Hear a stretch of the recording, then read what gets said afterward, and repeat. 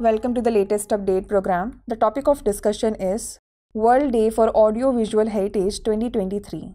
The World Day for Audiovisual Heritage, set for 27th October, commemorates the 1980 recommendation for the safeguarding and preservation of moving images.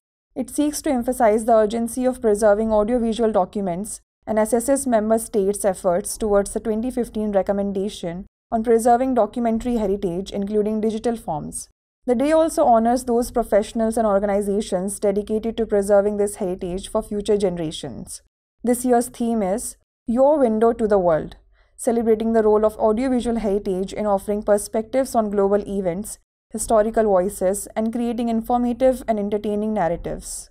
UNESCO's Archives has initiated a project titled Digitizing Our Shared UNESCO History to conserve and maintain accessibility to invaluable audiovisual records that detail global cultural, social, and linguistic histories.